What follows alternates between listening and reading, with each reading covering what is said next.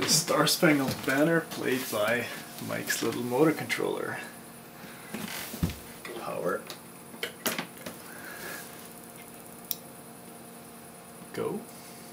Alright, so first without holding the motor, just to see how it turns. I'm going to synchronize the encoder now and it'll start.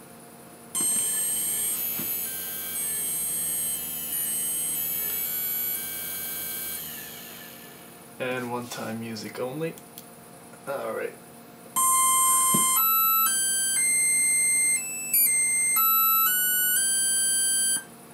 And just to show that this thing can actually work,